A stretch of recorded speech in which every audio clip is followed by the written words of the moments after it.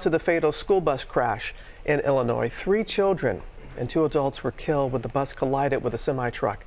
Alex Brochet is on the scene for us in Rushville, Illinois. Good morning to you, Alex.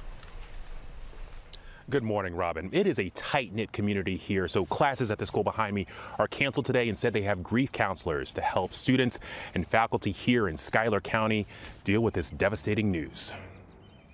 This morning, an investigation ramping up into this tragic crash between a school bus and a semi truck that killed five in Illinois, including three young children. The Route 24 in front of Scripps Park, semi has hit a school bus. One of the vehicles is on fire. Five year old Maria Miller, three year olds Andrew Miller and Noah Driscoll, along with both drivers, David Kufal and Angela Spiker, all killed when police say the bus carrying the children crossed into oncoming traffic, colliding with a semi truck about 60 miles west of Springfield.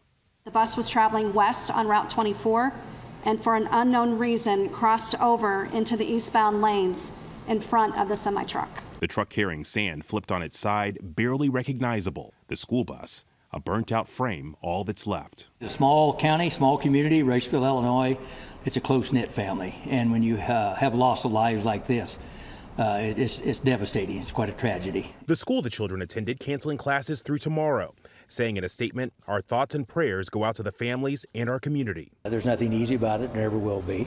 Uh, you know, and, and the families definitely devastated, and they just uh, they were they were thinking the worst. They were wondering about the worst.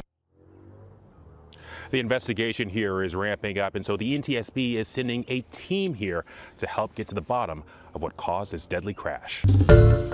Hi, everyone. George Stephanopoulos here. Thanks for checking out the ABC News YouTube channel. If you'd like to get more videos, show highlights, and watch live event coverage, click on the right over here to subscribe to our channel. And don't forget to download the ABC News app for breaking news alerts. Thanks for watching.